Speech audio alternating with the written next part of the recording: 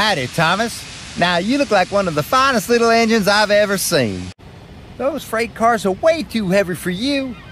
Let me take 'em for you. I'd be happy to help. Hold your huffing there, Thomas. Let big old Hank take those cars for you. Howdy! Good to see ya. Hey, Thomas, aren't you gonna whistle hello? Howdy, Farmer McColl. That's a mighty fine tractor you have. Say, Thomas, you look all out of puff and pull. I'll take it for you. Come on, Thomas, the train's too heavy for you.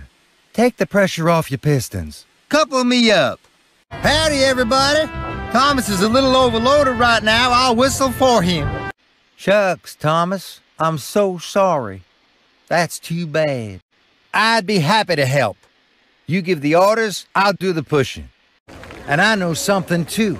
You're the engine everyone cheers for on Sodor. That's something to be proud of.